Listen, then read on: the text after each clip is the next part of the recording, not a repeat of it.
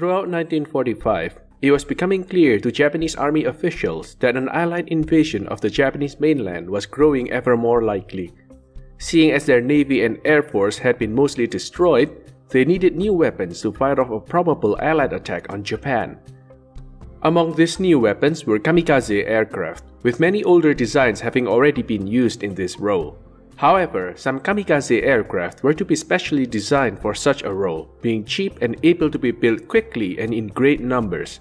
One such aircraft was the Ki-115 Tsurugi Sabre, which was built in small numbers and never used operationally. Welcome to another Plane Encyclopedia voiced article. I'm your host, Tony, and today I'll be covering the Nakajima Ki-115. If you like what we do, remember to subscribe so you don't miss a single video. Following the extensive loss of men, material, and territory during the fighting in the Pacific, the Japanese Army and Navy were in a precarious situation, especially as there was a great possibility of an Allied invasion of their homeland. Unfortunately for them, the Japanese fighting forces on the ground, in the air, and on the sea were mostly mere shadows of their former selves and unable to prevent the rapid Allied advance across the Pacific.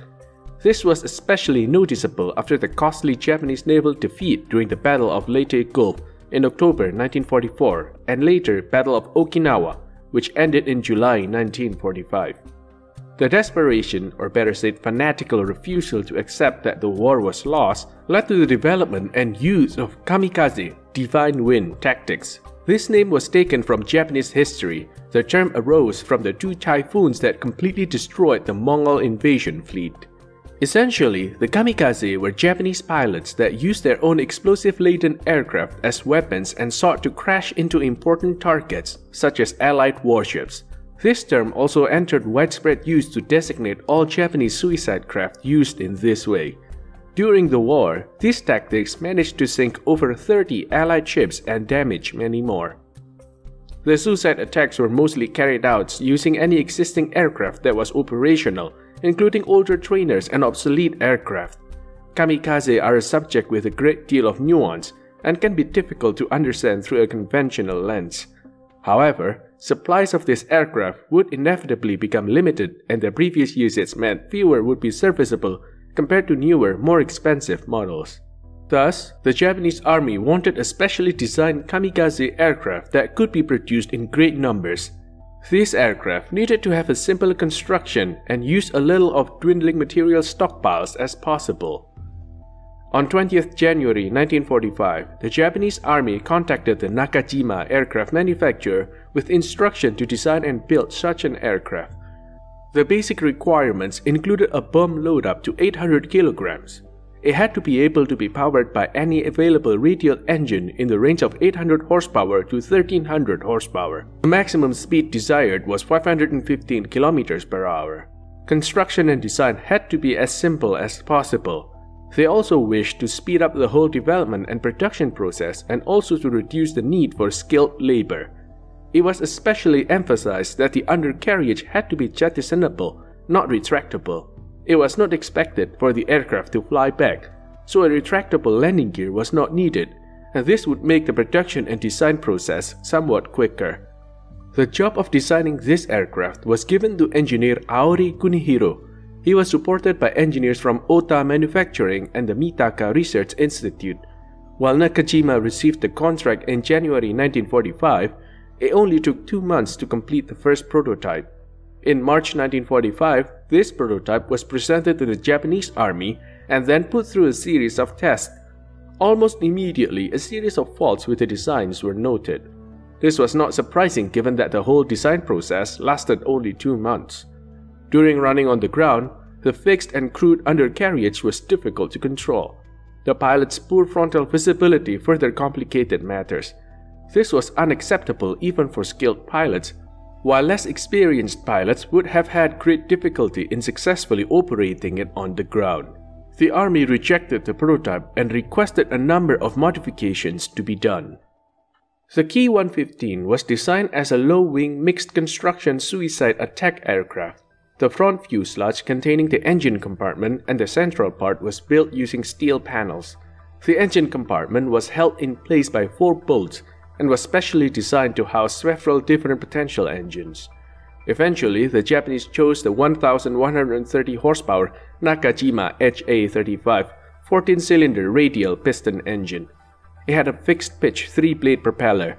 In order to help reach its target quicker, two small auxiliary rocket engines were placed under each wing. The wings were built using all-metal construction with stressed skin. The rear tail unit was built using wood and was covered by the fabric. The cockpit was placed in the upper center of the fuselage. It was semi-open with a front windshield. As requested, the Ki-115 prototype had a fixed and jettisonable undercarriage. It had a very simple design, using simple metal tubes with no shock absorbers. While two wheels were used in the front, a tail skid was used at the rear. The fixed undercarriage tested on the prototype proved to be highly ineffective. All later produced aircraft were instead equipped with a simple and easy to build shock absorber. The armament consisted of a bomb load of up to 800 kilograms.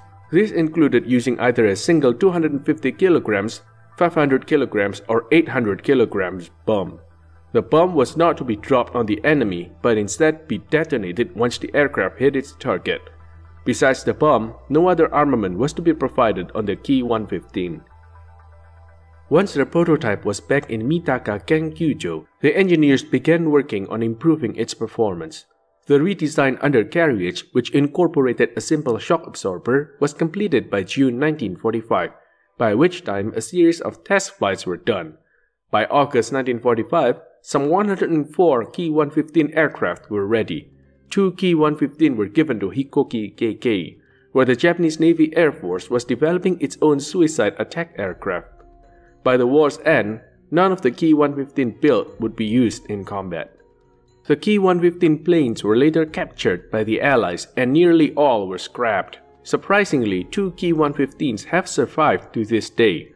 One can be seen at the Pima Air and Space Museum. This aircraft is actually on loan from the National Air and Space Museum. The second aircraft is currently located in Japan. Not wanting to potentially damage these aircrafts, no restoration attempts are planned for the near future. In order to further improve the aircraft's performance and reduce costs, the Ki-115B version was proposed. This included replacing the all-metal wings with ones built of wood. These new wings were larger and had to be equipped with flaps. To provide the pilot with a better view, his cockpit was moved to the front. Due to the end of the war, nothing came from this proposal. The Ki-115 was built in small numbers only, with some 104 production planes plus the prototype. These were built by the two Nakajima production centers at Iwate 22 aircraft and Ota 82 aircraft. The production lasted from March to August 1945. Luckily for the Japanese pilots, the Ki-115 was never used operationally. It was a simple and crude design which was born out of desperation. If the Ki-115 was ever used in combat, it would have likely presented an easy target for enemy fighters and suffered from poor reliability due to its cheap construction. This concludes our look at the Nakajima Ki-115. If you like what we do and want to see more, remember to subscribe so you don't miss a single video. Also, don't forget to take a look at our extensive collections of articles on our website, plane-encyclopedia.com. Thank you.